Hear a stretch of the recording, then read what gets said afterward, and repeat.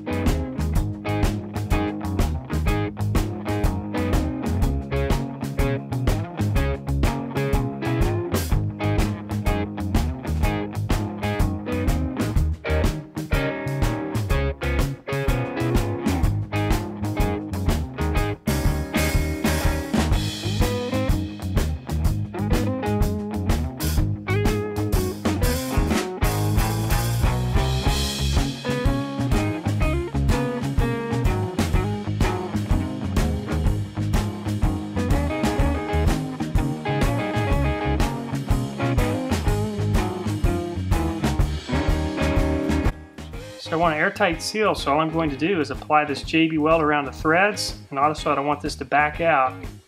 So I'm going to apply the JB Weld around the threads, and I'm going to just screw this on in there. And again, I want this to be airtight, so what I'll do is just dip this in the JB Weld,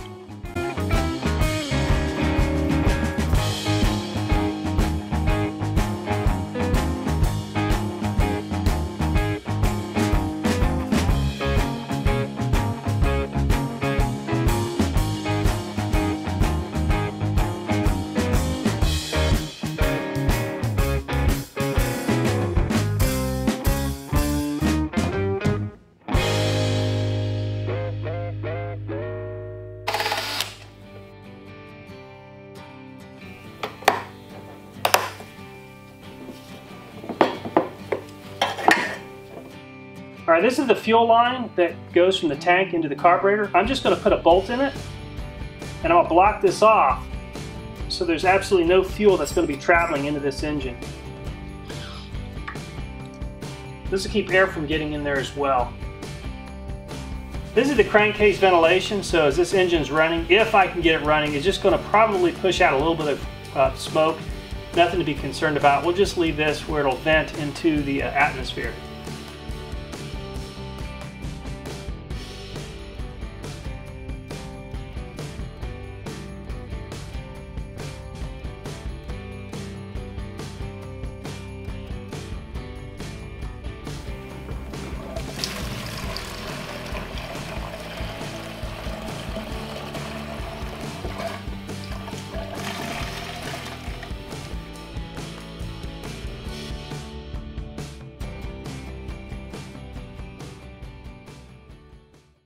So the way this gas vapor setup is supposed to work, the engine creates a vacuum. That's how it draws fuel into the engine.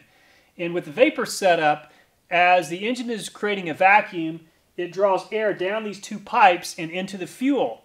Now once the air reaches the fuel, it creates a bunch of bubbles within the fuel, which turns into a vapor. That vapor then travels through this single line, past this valve, and into the engine itself and the purpose of this valve is to regulate how much vapor enters the engine. Again, I don't think this is going to work, but we're going to give it a try. Okay, we'll see if this thing's going to run. I've moved this entire setup outside the shop just because I don't want this thing to catch my shop on fire if this canister explodes. So let's give this a try.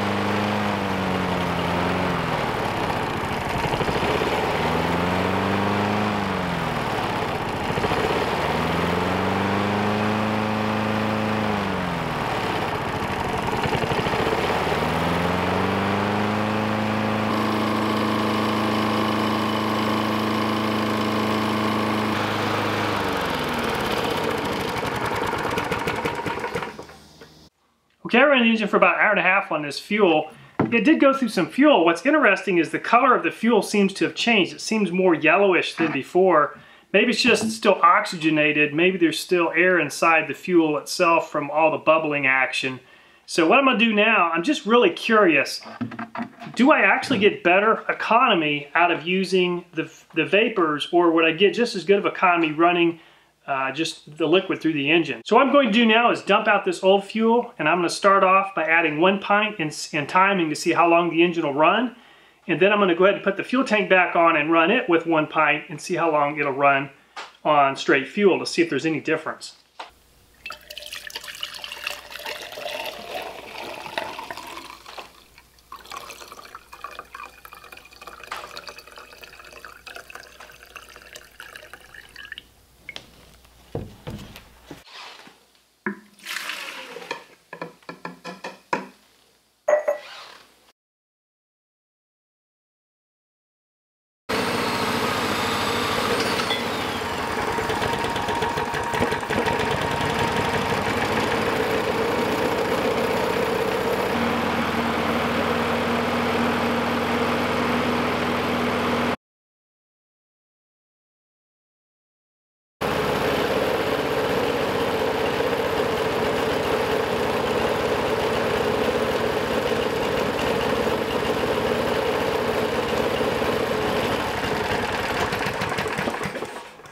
So I ran this engine about 27 and a half minutes. So what I'm going to go ahead and do, there's still some fuel left in here. The, the tubes aren't long enough to agitate the fuel enough.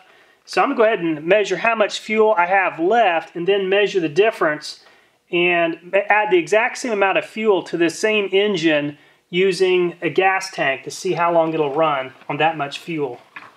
All right, let's see how much fuel I used. Okay, 27 and a half minutes. Looks like it, it's about an inch off the bottom of this container, maybe about an inch and a half.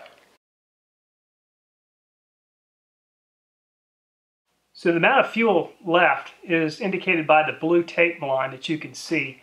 And so what I'm going to do is when I add fuel to the fuel tank, I'm going to stop adding when I get down to that level. I'm going to go ahead and uh, dump this fuel out.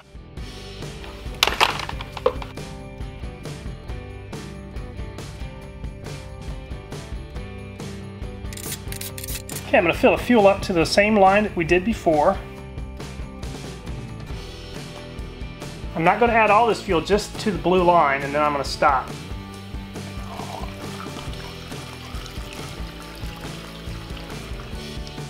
The fuel level is right where the top of the tape is at, so this is very close. This is within a, within a fraction of an ounce. This should be good enough to determine if there's any significant difference in fuel consumption between vapor and running a liquid.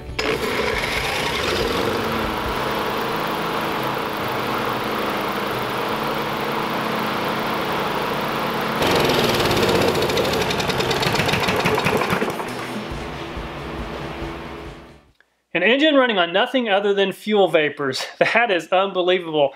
I really did not think that was that would work. I have to admit I was totally wrong. I came into this video a total skeptic and now I'm a believer.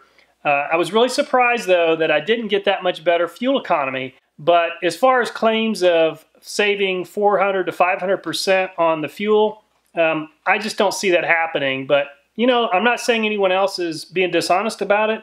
It's just that I just did not achieve those results. Maybe there's something that I should be doing differently. Anyway, I wouldn't have done this video had it not been for the hundreds of people asking me to do it. I spend hours each week reading and replying to your comments. I hope you'll take time to give me some more video ideas. I've got a long list of video projects ahead of me and they're pretty exciting. You guys recommended them, so we're going to see what's going to happen with each and every one of them. And uh, just want to say, please leave a comment. I hope you'll like, subscribe, and share this video. Until next time, please take care, and I look forward to seeing you then.